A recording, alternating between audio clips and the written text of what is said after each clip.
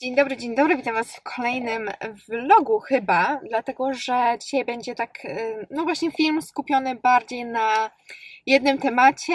Właśnie zaparkowałam i idę do różnych sklepów, ale tutaj chciałam Wam powiedzieć, że idę głównie do Pepko, dlatego że w Pepko już są święta Bożego Narodzenia i może dla niektórych jest to za wcześnie, dla mnie też jest za wcześnie, ale z tego co pamiętam w poprzednie lata w grudniu ten towar był już naprawdę mocno wykupiony, więc e, niektóre rzeczy mi się już spodobały, bo też oglądam przeglądy innych osób na YouTubie i tak stwierdziłam, że okej, okay, pójdę, kupię, e, zobaczę co tam mają, mm, no a będę dekorować mieszkanie jakby na początku grudnia, więc to sobie po prostu będzie czekać, mm, a nie chcę, żeby później nie było tych rzeczy, które mi się gdzieś tam spodobały. Dlatego dzisiaj stwierdziłam, że zabiorę Was razem ze mną właśnie do Pepko. I zobaczymy, co tam mają takiego świątecznego już, e, co kupię, mm, zrobimy sobie taki po prostu przegląd. Ja też e, nie mam zamiaru kupować mnóstwa rzeczy, bo mam dekoracje z zeszłych lat. Też w tym roku chyba będziemy kupować choinkę taką E, nie żywą, tylko sztuczną, więc to też będzie spory wydatek. Mm, ozdoby co prawda mam, ale zapewne też jakieś inne trzeba będzie dokupić, bo ta choinka będzie większa niż do tej pory miałam. E, żywe choinki, więc no jakby nie chcę też wydawać mnóstwa pieniędzy na same Boże Narodzenie, tym bardziej, że ten okres Bożego Narodzenia to jest w ogóle mm, dosyć e, ciężki czas dla portfela bo różne i wyjazdy, i wiadomo, że też prezenty, Mm, no i potrawy i tak dalej, i tak dalej. No ale wiecie o co chodzi. W każdym razie chciałam tutaj zrobić taki wstęp, bo właśnie zaparkowałam przed moim, jednym z moich ulubionych w sumie centrum, mm, centrów w Warszawie, jest to centrum Łopuszańska, dlatego że tutaj są wszystkie takie sklepy e, skumulowane właśnie w jednym miejscu, które mm, są ciężko dostępne, nie są tak, wiecie, jakby jak to powiedzieć, nie są e, częste, w sensie, że jest ich mało. Po prostu rzadko e, się je spotyka na, mm, gdzieś tam na rogach e, budynków, mm, bo tutaj jest Teddy, jest Kick, jest Action, jest Deals, jest właśnie Pepco, Sinsei, Rossmann, więc takie naprawdę mm, rzadkie sklepy. O, tak to ujmij, ujmijmy. Dobrze, lecę, bo nie powiem, że jest jakoś super wcześnie, a mam jeszcze dzisiaj dużo rzeczy do zrobienia, więc zabieram Was ze sobą. Pepko jeszcze trwa Halloween, ale to dobrze. W każdym razie również świąteczne rzeczy można było znaleźć, między innymi takie metalowe domki w dwóch kolorach, ceramiczne świeczniki, też w trzech chyba kolorach, no i oczywiście różne inne ceramiczne ozdoby. Mamy też światełka, ozdoby na choinkę. Ten łańcuch światełek mi się bardzo spodobał, ale nie mam pomysłu na niego. A ta girlanda na balkon super.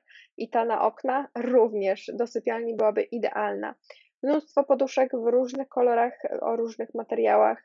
Koce, zielone nawet, czerwone, Przejdziemy sobie do kubeczków, czyli to, co wszyscy lubią najbardziej. Tutaj mamy taki zestaw filiżanek, bardzo ładny. Te kubeczki są całkiem fajne, jeśli byście chcieli skompletować sobie na przykład takich 4 albo 6 albo więcej. No ale ta ciasteczkowa pani wygrała. Tutaj też są takie śmiesznie stojące kubeczki i ten Mikołaj mi się bardzo spodobał. Forma do pieczenia, którą Wam zdradzę, że kupiłam. Do tego talerzyki takie ciemnozielone i zestaw sztućce. Taki zestaw idealny na niezobowiązujący prezent. Mamy tutaj kubek i skarpetki i te kubki naprawdę, naprawdę są ładne, bardzo mi się podobały.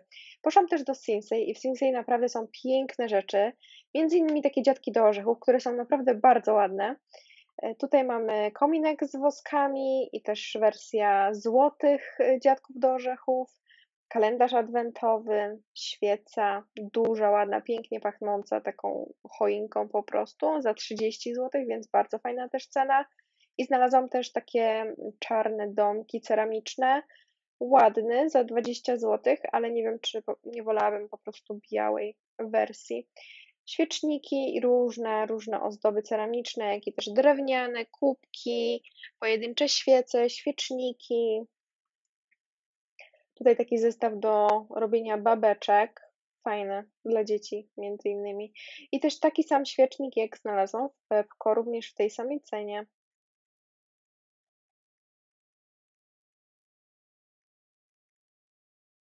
Choinka stojąca, świecąca. Powiem Wam, że zastanawiam się nad nią, szczerze powiedziawszy. Tutaj taki zestaw świeczki i dyfuzora zapachowego, no ale niestety w czerwonym kolorze.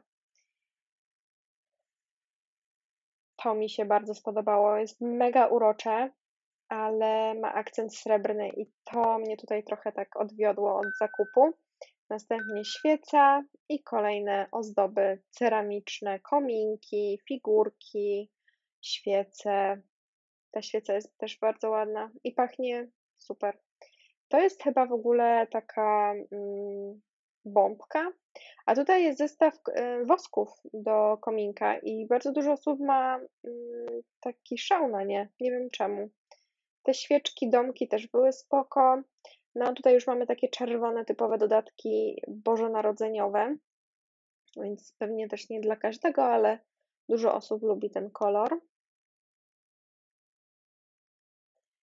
I tutaj też wersja właśnie czerwonych wosków, trochę akcesoriów do kuchni, jeśli robicie jakąś taką imprezę mm, świąteczną, to myślę, że fajnie jest poszukać takich gadżetów albo naczyń po prostu do serwowania różnych dań. Kolejne ceramiczne akcenty, domki, świeczki. Pojechałam jeszcze do innego Pepko, ale niestety tam nic Jeszcze nie zanim było. Wam pokażę, co udało mi się kupić, to muszę szybko zjeść obiad, bo jestem strasznie głodna. I dzisiaj mam makaron z kurczakiem, ze szpinakiem i chyba w takim sosie coś a la carbonara. Nie pamiętam już dokładnie opisu, co to było. W każdym razie ja lubię makarony, więc dla mnie każdy makaron mógłby być zresztą codziennie. Także zajadam się i zaraz się do Was odezwę. Mam herbatkę. Nie wiem, czy zauważyliście, ale chyba nie. Mam już taką świąteczną, zimową bluzę, żeby przywołać te mm, świąteczne ozdoby, które miałam y, rzekomo znaleźć w sklepach. Słuchajcie, zanim jeszcze pokażę Wam, co kupiłam, bo nie kupiłam dużo, w sensie, no tak jak Wam wspominałam, ja też nie mam zamiaru kupować dużo, ale spodziewałam się większego asortymentu e, świątecznego, przynajmniej w Pepko, a nie było tego, co chciałam, ale były też rzeczy, których nie widziałam wcześniej na różnych przeglądach, a które mi się spodobały, pewnie powiedziałam Wam o tym, e, jak pokazywałam e, właśnie te rzeczy. W każdym razie tak, Pepko może jeszcze dorzuci, przynajmniej w tym, którym byłam, chociaż byłam w dwóch Pepkach.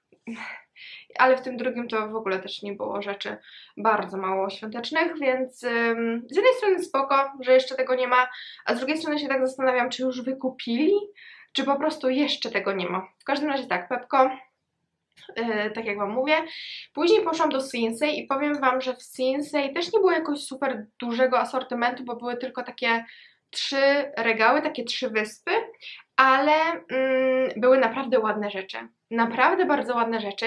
Um, I co prawda, no, kolorystyka nie do końca niektórych rzeczy mi pasowała, bo raczej będę stawiać na taką biel, może granat, Um, może troszkę zieleni, no bo też to roślin mi to zawsze będzie pasować. W każdym razie na pewno nie czerwień, e, na pewno nie jakieś srebro czy złoto, więc e, no te ozdoby odpadają, ale naprawdę były bardzo ładne rzeczy i takie ciekawe, inne trochę. Na przykład bardzo mi się spodobała ta skrzynka na listy do świętego Mikołaja no raczej mi się czegoś, coś takiego nie przyda, ale jeżeli ktoś ma e, dzieci, to myślę, że to jest naprawdę bardzo fajna sprawa, albo też na przykład e, większą rodziną e, sobie planujecie jakieś takie prezenty, czy to świąteczne, czy właśnie mm, do, na Mikołaja, to wtedy można się zabawić w jakieś takie wysyłanie listów niby. Także to było super. Byłam też w Teddym. Teddy kiedyś miało takiego krasnala wysokiego, dużego no i tak jak myślałam, że jak nie kupię od razu, to później nie ma. I no i nie było dzisiaj niestety, a chciałam go kupić, bo był taki e, wysoki, szary, na takich długich nogach. mm, za 80 zł i to była fajna cena, no ale nie było, więc może jeszcze się trafi, jeśli nie, no to nie. W każdym razie mm, Teddy ogólnie jest zasypane świętami, ale jeszcze ma też halloweenowe rzeczy, więc nie ma jakiegoś takiego szaleństwa na maksa, więc jest ok. Ja mam tutaj herbatkę, zrobiłam sobie, już Wam pokazuję, e, co kupiłam. Halo, halo! Koty się biją. Aferciu, chodź tutaj. Dobra, tak żeby Wam określić mniej więcej ile rzeczy kupiłam, to wszystko mi się zmieściło w takiej torbie płóciennej. Bardzo ją lubię. Kiedyś Wam pokazywałam, że sobie zamówiłam i to jest e, z firmy e, Gliniana Kura, znaczy taka marka się nazywa. E, I ona tworzy właśnie takie różne gadżety z miastami Polski. I tam jest też Kraków chyba, Gdańsk. No i oczywiście Warszawa. E, dobrze, pokazuję Wam, co kupiłam. Jeszcze tutaj coś. Co to jest? Aha, dobra. To, to będzie tak. E, zacznę może od takich gospodarczych rzeczy, ale bardzo chciałam Wam polecić. To są worki na śmieci. Słuchajcie, nie śmiejcie się, jeżeli ktoś już zaczął.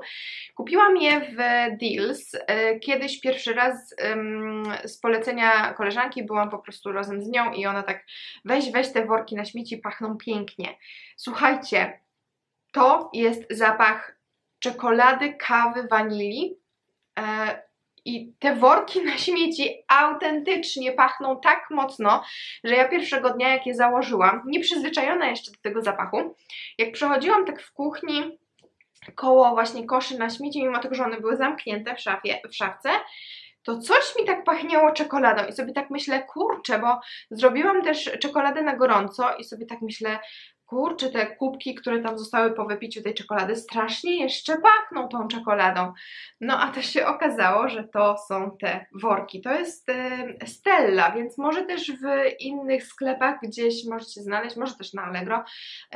worki na śmieci z uszami, um, wanilia latte zapach. I one na, autentycznie naprawdę, naprawdę bardzo, bardzo mocno, intensywnie pachną, do tego stopnia, że nawet jak już jest cały kosz wypełniony śmieciami, no to ten zapach jest dalej mm, wyczuwalny. Także tak na szybko chciałam Wam e, tylko powiedzieć, zacznijmy sobie od tego Pepko, w którym no byłam. I bardzo mi się spodobała taka foremka do pieczenia. I ja ją też widziałam w Sinsei online, nie widziałam jej stacjonarnie, ale właśnie y, online zaznaczyłam sobie, że chciałabym coś takiego y, kupić w tym roku, no i wiecie, i nawet y, zrobić taki klasyczny piernik albo zrobić na przykład chlebek bananowy w czymś takim. I to już fajnie będzie wyglądać też, no wiecie, niby, niby się zje później, ale, ale będzie można zrobić jakieś fajne zdjęcia. No i w ogóle taki klimat też świąteczny, więc kupiłam to w Pepko za 15 zł. To jest taka silikonowa forma. E, widziałam gdzieś jeszcze, słuchajcie, tylko teraz nie wiem gdzie. Chyba w Tedim, ale też nie jestem w 100% pewna. Albo w Sinsei nie wiem, ale widziałam po prostu mniejsze rozmiarowo, mm, więc jeżeli ktoś szukał, to, to wiem, że są, ale teraz nie jestem w stanie Wam powiedzieć, gdzie dokładnie, bo nie kojarzę. W... Aha, w Pepko kupiłam też um, coś takiego, tylko, że nie ten egzemplarz, dlatego że e, kupiłam bardzo podobny świecznik, bo to jest w zasadzie świecznik na dwie takie podłużne świece, mm, ale później poszłam do Sinsei i zauważyłam właśnie to.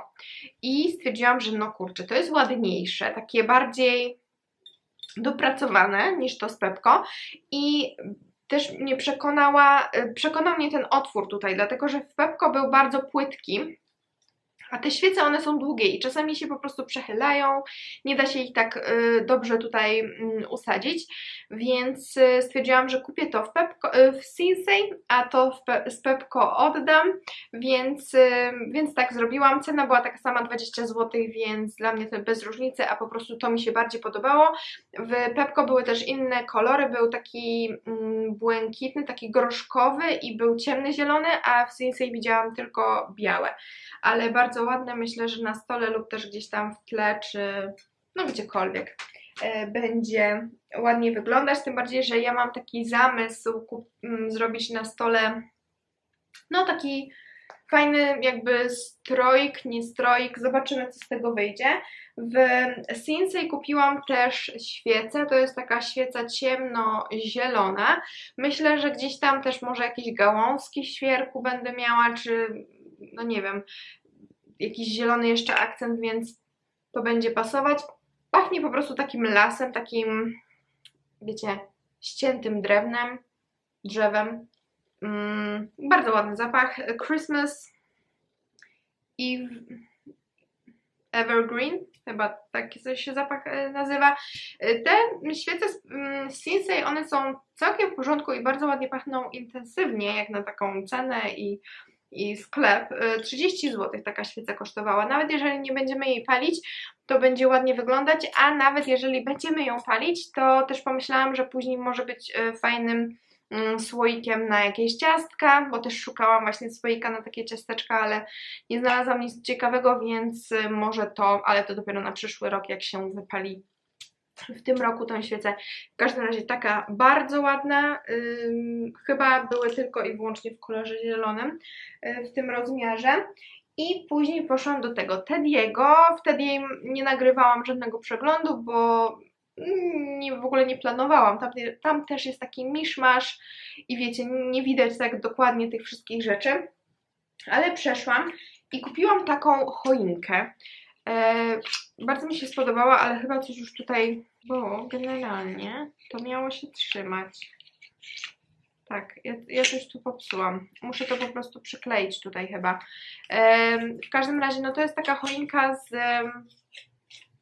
E, takich drewienek i myślę, że właśnie na stole mm, postawić albo na mm, no myślę, że na stole jakby będzie też ta świeca, będą może jakieś inne domki i zrobić sobie taki, takie miasteczko trochę. E, taki mam plan przynajmniej, ale muszę to tutaj... Czekajcie, czym ja to mogę... O, niby stoi. No nie wiem, w każdym razie kosztowało to 12 zł.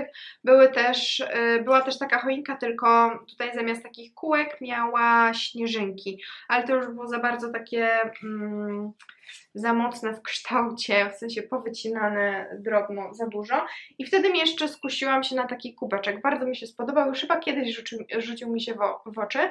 Mm, taki klasyczny Merry Christmas, zielony, biały w środku i on ma tutaj 260 ml, więc idealnie na taką kawkę albo szybką herbatkę. I on kosztował 12 zł też, mm, także spoko. Były różne kubki i nawet niektóre były całkiem, całkiem ładne.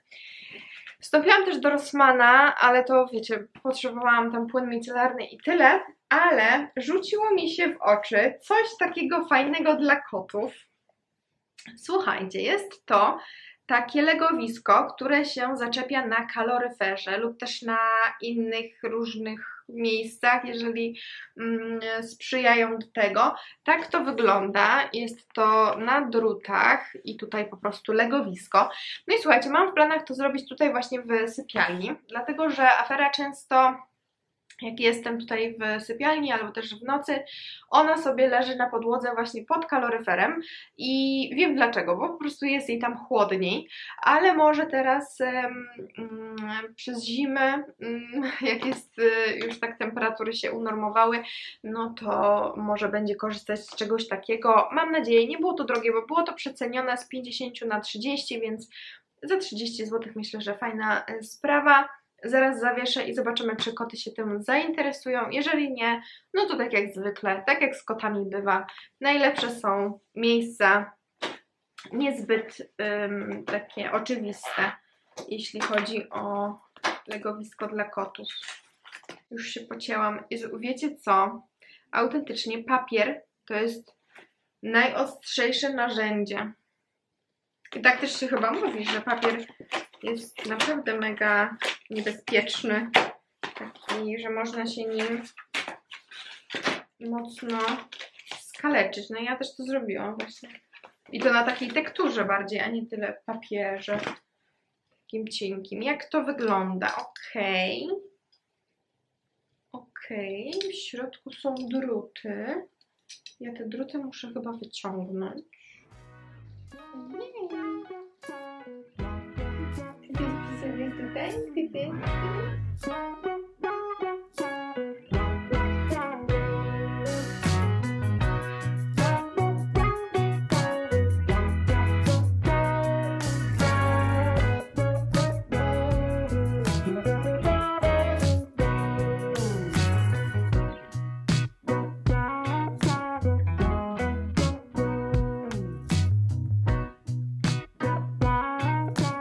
Czekając sobie na mój ulubiony serial, jakim jest M jak Miłość. W takich pięknych okolicznościach założyliśmy już lampki i mamy troszkę takiego klimatu świątecznego.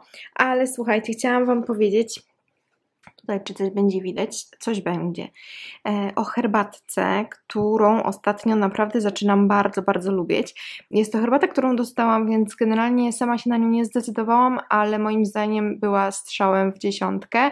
Wiem, że możecie ją dostać między innymi w Rossmanie i to jest czarna, tropikalna. Ja tutaj właśnie mam zrobioną przed, no może nie przed chwilą, ale kilka godzin temu też sobie ją zrobiłam. Dodałam do niej troszeczkę miodu i naprawdę jest tak pyszna, że powiem Wam, no myślę, że będzie fajnym um, zamiennikiem dla tradycyjnej takiej klasycznej zimowej herbaty. I też co mi się podoba tutaj, to to, że ten. Um, napar, jakby on nie jest taki gorzki. Niby jest to czarna herbata, ale tutaj naprawdę mocno wyczuwalne są te tropikalne owoce. E, nie wiem jak e, w składzie, w każdym razie mamy tutaj 96% herbaty czarnej i reszta to są owoce, bo tutaj mamy papaję, mango, melon, i aromat tropikalnych owoców. I słuchajcie, naprawdę to jest przepyszne. Więc jeżeli będziecie gdzieś w Rosmanie i natkniecie się na tą wersję, to z mojego polecenia możecie ją brać, bo naprawdę jest pyszna. Więc ja mam tutaj duży kubek herbaty. Troszkę dodałam sobie miodu do niej, ale y, no tak jak Wam mówię, nie jest taka gorzka. Więc ja się zabieram za oglądanie. Tutaj zaraz, o, yy, Black Friday niedługo się zbliża. Tak a propos tej reklamy, dajcie znać, czy już planujecie coś kupować, czy nie. Słuchajcie, mój statyw ledwo żyje. Tak to ujmę, dlatego też jesteście tak krzywo. Czekajcie. Koniec tego vloga. Przychodzę tutaj na chwilkę z tematyką książkową oczywiście, dlatego że po ostatnim mm, takim, nie wiem, rozczarowaniu, może nie, może to za duże słowo, ale recenzowałam Wam książkę Agaty Christie, Morderstwo w Orient Expressie i no, tak jak Wam wspominałam, troszkę się zawiodłam. I po, po tej książce sięgnęłam po inny kryminał, inny thriller, e, Musso, e, ponieważ Cię kocham. I powiem Wam, że no to była dobra zamiana. To była dobra zamiana. Tutaj mnie e, lekko wryło w fotel, mm, muszę przyznać. Nie spodziewałam się w ogóle takiego obrotu spraw. Mm, do końca też momentami było to takie dziwne, e, dziwne sytuacje się działy, ale e, no później jakby wszystko się wyjaśniło w końcu, ale nie były do tego stopnia takie dziwne sytuacje, że czytelnik mógłby sobie pomyśleć, że kurczę, co, co to jest za fantazy. To aż tak nie. W każdym razie naprawdę bardzo dobra pozycja Muso, z pewnością lepsza niż poprzednia, którą czytałam. Um, nie pamiętam, coś ja już Wam też pokazywałam, jaki to był tytuł.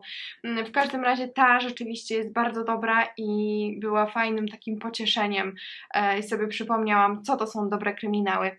Chociaż powiem Wam, że Agatha Christie e, dużo osób z Was poleca i poleca też inne tytuły, żeby się nie zniechęcać. Ja zdaję sobie sprawę z tego, że to jest autorka, pisarka, która pisała no prawie 100 lat temu i jakby ta tematyka też jest inna kompletnie i też no jakby w ogóle życie wyglądało inaczej. Ja sobie z tego zdaję sprawę, natomiast no przyzwyczajona jestem po prostu do kryminałów, które szokują na koniec. E, ale może się skuszę kiedyś jeszcze na Agatę Christie, no bo to są klasyki, które fajnie znać, fajnie też przeczytać. Mm, ale na tą chwilę mm, czytam Współlokatorów i to jest książka mm, dosyć popularna, najbardziej wyczekiwany debiut 2019 roku. Przeczytałam prawie 25% i głównie to dzisiaj e, przeczytałam po prostu tak siadłam i czytałam, czytałam chyba przez półtorej godziny. Mm, w każdym razie na tą chwilę powiem Wam, że to tak takie 5 na 10. No jakby nie wiem jak to się rozwinie i czego mogę się spodziewać, kompletnie nie wiem, e, bo mm, dwóch bohaterów ma odmienne kompletnie życia, style życi, życia więc nie wiem, jak to będzie. W każdym razie mam nadzieję, że jakoś się to, to rozwinie, bo inaczej nie uznam tej książki za tak dobrą, jak niektórzy opowiadają, że jest. E, w każdym razie informuję Was, że właśnie mm, tą książkę teraz czytam.